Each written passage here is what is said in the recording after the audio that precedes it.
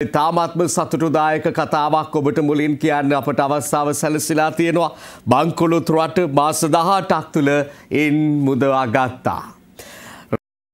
මේ ආර්ථික බංකොලොත් භාවයෙන් මුදාගත් රන් වික්‍රමසිංහ කියව් කතාවක් අපට ඉදිරිපත් කරන්නට ලැබුණේ මේ අදපුවත් ප්‍රථම සට නවෝද්‍යා පවනික් මේ සියලු කරණය කරමින් රට දියුණුව කරාගෙන යන වැඩපිළිවෙල ඉදිරියට දියත් කරන බව තමයි සඳහන් කරලා තියෙන්නේ.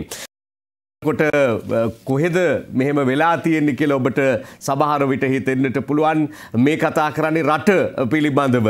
එතකොට ඒ රට ඇතුලේ ඔබේ කතාව පිළිබඳව එක වෙනම කතාවක් වෙන්නට පුළුවන් කොහොම වුණත් ජනාධිපතිතුමා කියනවා රට බංකොලොත් භාවයෙන් මුදාගත්ත කියලා හැම තැනම දුක් අඳුනාවන් මැසිවිලි ජීවත් වෙන්න අමාරුකම පඩි වැඩි කිරීම ඉල්ලලා ජනතාව පාරට බහින විවිධ විරෝධතා දක්වන කාලවකවානුවක වුණත්.